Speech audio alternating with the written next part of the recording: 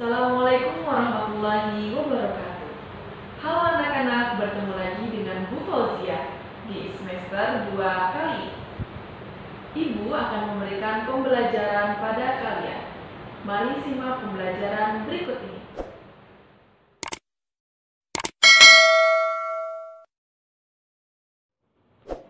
Anak-anak, jangan lupa terapkan 3M. Yang pertama, menggunakan masker dengan benar. Yang kedua, mencuci tangan menggunakan sabun agar kita terhindar dari kuman dan segala penyakit. Dan yang ketiga, menghindari kerumunan dan jaga jarak.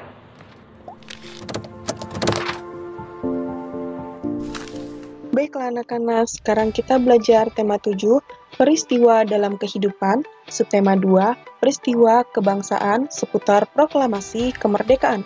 Tujuan pembelajaran yang kalian dapatkan, kalian dapat memahami kalor dapat mengubah suhu benda, dan juga kalian dapat mengetahui peristiwa perubahan wujud benda. Kalor Kalor adalah energi panas yang dimiliki suatu benda. Adapun beberapa sifat kalor yaitu pertama, berpindah dari benda bersuhu tinggi atau panas ke benda bersuhu rendah atau dingin. Kedua, semakin tinggi suhu benda, semakin besar pula kalor yang dimiliki. Dan yang ketiga, berperan dalam perubahan wujud benda. Pengaruh kalor terhadap perubahan wujud benda ada dua. Yang pertama, zat melepas kalor dan zat menerima kalor. Zat melepas kalor terjadinya pendinginan, contohnya membeku, mengembun, dan mengkristal. Sedangkan zat menerima kalor, yaitu terjadi pemanasan, contohnya mencair, menguap, dan menyublim. Nah, anak-anak di sini agar lebih jelasnya, Ibu memberikan contoh gambarnya. Di sini ada membeku, mengkristal, mengembun, mencair, menyublim, dan menguap. Kalian bisa lihat pada panah yang berwarna merah, yaitu pengaruh kalor terhadap perubahan wujud benda yang memelur, memel, memerlukan kalor, sedangkan yang panah berwarna kuning, yaitu pengaruh kalor terhadap perubahan wujud benda yang melepas kalor. Nah, anak-anak, di sini Ibu akan membahas tentang pengaruh kalor terhadap perubahan wujud benda pada zat melepas kalor saja, yaitu membeku, mengkristal, dan mengembun. Yang pertama, perubahan wujud benda membeku. Perubahan wujud benda membeku merupakan perubahan yang terjadi pada benda cair. Membeku merupakan perubahan benda cair menjadi padat. Proses membeku ini bisa terjadi karena dipengaruhi oleh suhu dingin. Misalnya, coba kita taruh es krim yang mulai mencair ke dalam freezer. Dalam waktu tertentu, es krim yang mencair akan kembali membeku dan jadi padat. Untuk lebih ringkasnya, perubahan wujud benda membeku ini yaitu dari cair menuju ke padat.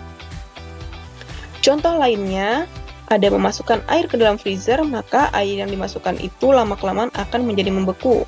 Kemudian agar-agar yang dimasak, jika dibiarkan maka lama-lama juga akan menjadi padat atau membeku. Dan juga gula jawa yang dipanaskan atau yang dimasak kemudian didiamkan akan menjadi membeku pula. Baik, yang selanjutnya perubahan wujud benda mengkristal. Pengkristalan ialah perubahan wujud benda dari gas menjadi padat dengan proses pelepasan maupun penyerapan kalor. Contohnya, yang pertama ada bunga es yang melekat di dinding-dinding freezer.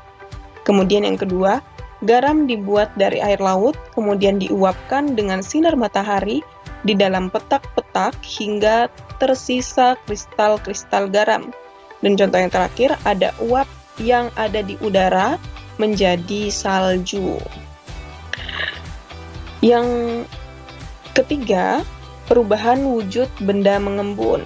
Perubahan wujud benda selanjutnya ini adalah mengembun. Perubahan wujud benda ini merupakan peristiwa perubahan wujud benda dari gas menjadi benda cair yang melepas zat kalor. Contoh peristiwa ini adalah es batu diletakkan dalam sebuah gelas sehingga lama-kelamaan bagian luarnya menjadi basah atau terjadi pengembunan. Ada pula contoh lainnya seperti gumpalan awan yang kemudian berubah menjadi hujan. Kemudian, dinding luar gelas yang menjadi basah karena bagian dalam diisi es. Dan yang contoh terakhir, kaca di dalam mobil yang menjadi basah apabila kondisi di luar dingin atau hujan. Nah, anak-anak, sudah selesai pembahasan hari ini. Cukup sekian, semoga bermanfaat dan terima kasih. Alhamdulillah, pembelajaran hari ini telah selesai.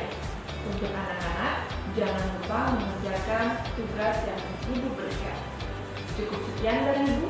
Wassalamualaikum warahmatullahi wabarakatuh.